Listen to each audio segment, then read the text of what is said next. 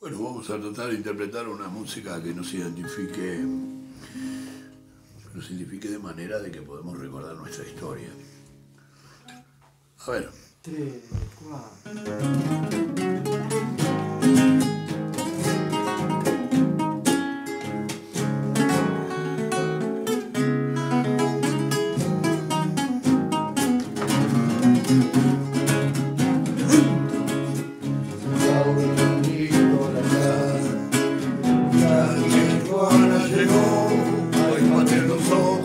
Aquel montonero, estamos rodeados, señor capitán.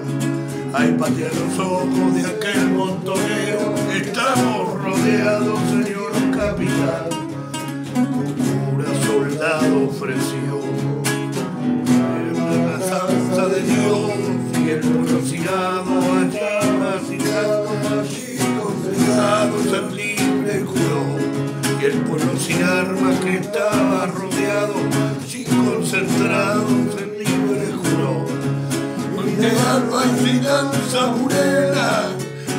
el claro ordenó. ¿Con qué armas, Señor, lucharemos? Con las que le quitaremos, dice que gritó.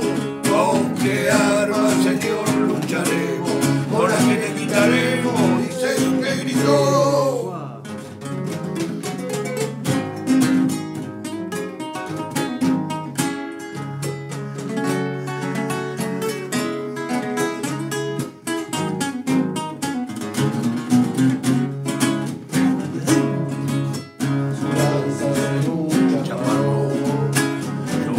Por la libertad.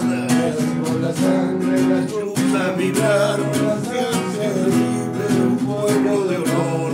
Y así con la sangre la cruza vibrar la ansia de libre un pueblo de honor. un solo pecho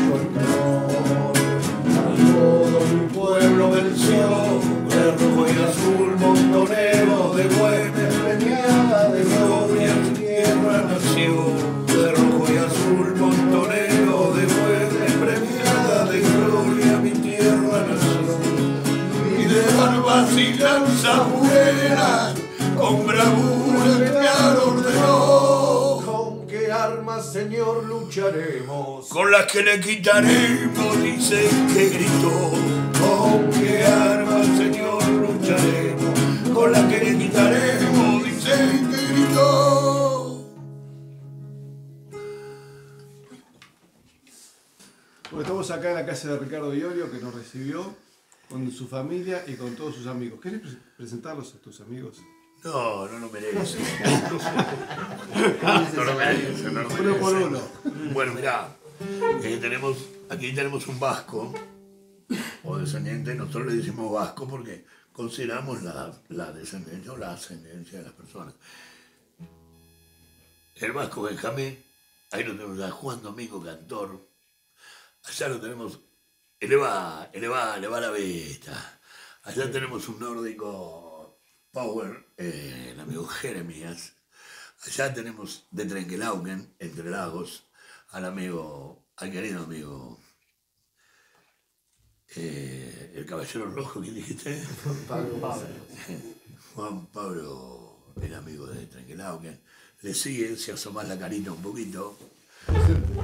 Eh, A Ropo. Ropo, Ropo Mar, que además es un Ropo gran March. escultor, ¿eh? Es un gran escultor hispano eh, que, que lucha por la hispanidad también. Y ahí lo tenemos a, a este gran amigo que es el que los trajo a ustedes. Que. Adrián de Mar del Plata. que es- ah, sí. Era de Lomas.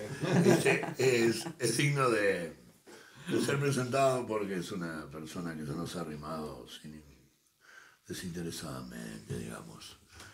Eh, eh, es- tenés dos libros que son muy importantes. Bueno, Madre Patria de Marcelo Gullo Modeo, que has puesto algunos videos de, de él en tus recitales, eso me Sí. antes.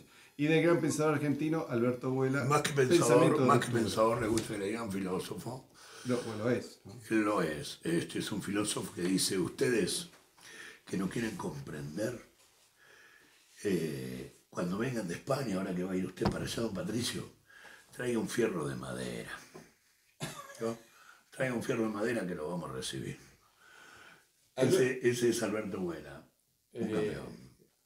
Alberto tiene un trabajo muy bueno que se llama La hermenéutica de la cultura, donde se explica realmente qué es la cultura. Porque viste que con el- en la televisión toda la farándula se pone a hablar de cultura y son actores y actrices. Creo que son también un, un- un fierro de madera, eh, personas que mm, hablan sin saber, como Exacto. aquellos que decía usted en uno de sus programas, que si quieren describir la historia eh, eh, con, con lenguaje exclusivo, uno uno, o aquel que, que manda, vamos a mandar a izar la bandera al que menos estudió y al que menos vino, y al más malo, para no discriminar. Eh, bueno, aunque sea que nuestro mundo se termina, habrá que verlo, señores. Habrá que verlo, porque habrá que verlo si se termina. O si un 4 o un 9% tanto de la madre patria como de la Argentina, la gente que trabaja, eh, se niega a pagar los impuestos y vamos, vamos a ver qué saben hacer estos pavos. Igual que muchos jóvenes que entran al camarín para sacarse una foto, cosas que uno no se puede negar, ¿no? Y le digo, ¿tenés fuego? No, no fumo. ¿Qué carajo me importa si no fumas? Imbécil.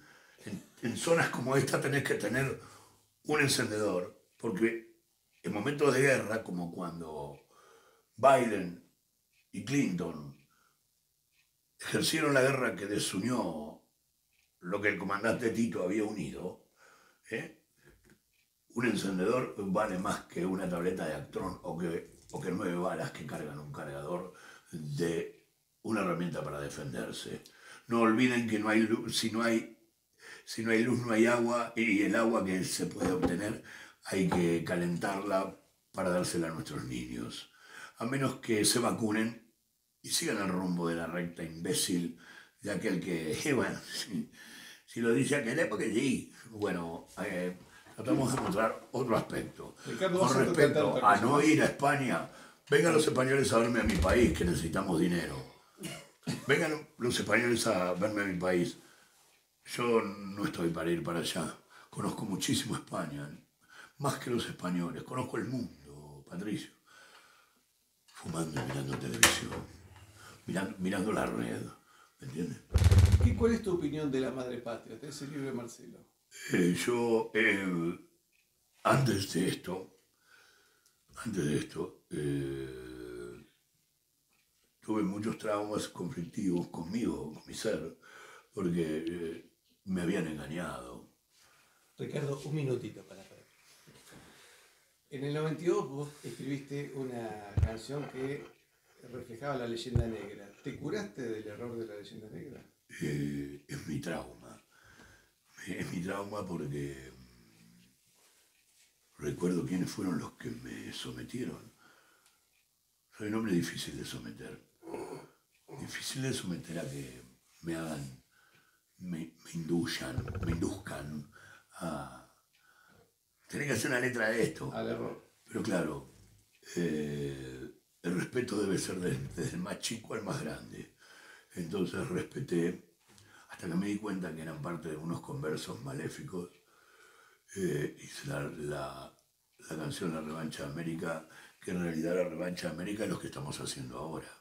Tratar de, de advertir que con la leyenda negra eh, nos quieren balcanizar, con esto del indigenismo nos quieren balcanizar, este, solamente para el bien de ellos. Y toda persona que uno quiera advertir por dormida es aquella que cree que el Estado lo va a ayudar. Les aseguro, muchachos, que fuera de cada uno de nosotros no hay ningún mediador. Eh, tenemos que, cuando uno da la vida por lo que realmente siente, es algo muy digno, que es aplaudido por, por la Virgen, en mi caso la Virgen de Luján, que es la que mueve la mano de Dios. Ricardo, ¿vas a cantar otra cosa? Sí, voy a cantar la, mar- la marsellesa.